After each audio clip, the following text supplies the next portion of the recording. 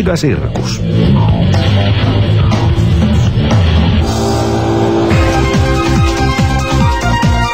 Ja seuraavaksi vuoroon maalikosteen vähintäänkin loistokkaasta ottelusta Jyp TPS. Ja tuon maalikosteen jälkeen kuullaan sitten aivan uunituore uusi versio Jypin voittokappaleesta. Mutta nyt highlights eli maalikoste.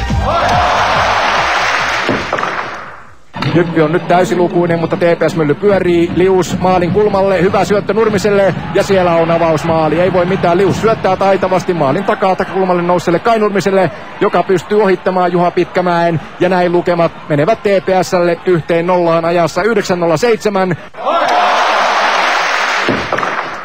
Perriinillä kiekko. Sitten Silkreen maalin kulmalla. TPS kolmi on pienenä. Silkreen pelaa Perrinille. Perrin antaa poikkisyötön. Sieltä suora laukaus. Hyvä kuva maali! Ja onko niin, että Rantasalme sulttaan? Immonen avaa maalitilissä Jypissä ja avaa. Siinä tulee sulttani ja täräyttää lukemat yhteen yhteen ajassa. 14.20 kuvio onnistuu. Silkreen Perriin pelaavat hienosti maalin takakulmalle. Ja sieltä lähtee Van Timer suoraan syötöstä. Nopea laukaus. Jason Elliot ei ehdi millään mukaan. Jyppi tasoittaa pelin yhteen yhteen aika. 14.20. Jypillä on ongelmia. Tällä hetkellä TPS vauhtimylly on kova. Nyt on vastaiskupaikka Jypillä. Hyvä syöttö ja näin pääsee sitten Immonen läpi ja pääsee kampu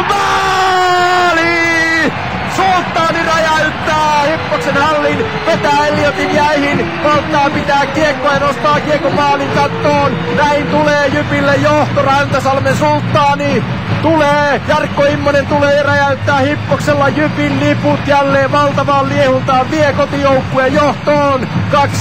2-1, kun kolmatta erää pelattu 9.40. Immonen nämä ottelun pelaaja tehot 1 plus 1 ja lukemat muuttuvat nyt kahteen yhteen.